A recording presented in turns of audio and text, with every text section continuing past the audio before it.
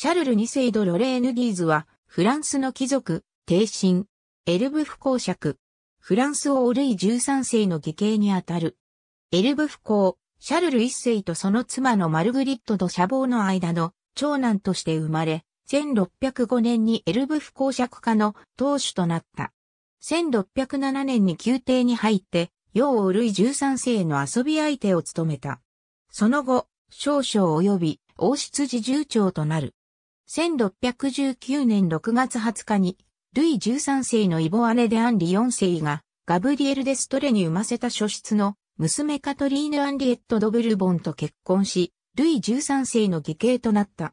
シャルル2世は、ルイ13世に対して常に忠実であり、国王と王母、マリー・ド・メディシスやユグノウの争いにおいて、いつも国王を支持し続けた。1620年にマリーを支持するノルマンディ知事のロングビル公アンリが国王とリシュリュー枢機卿に対して反乱を起こした際、アンリに代わり、ノルマンディ知事に任命、ピカルディ知事も務めた。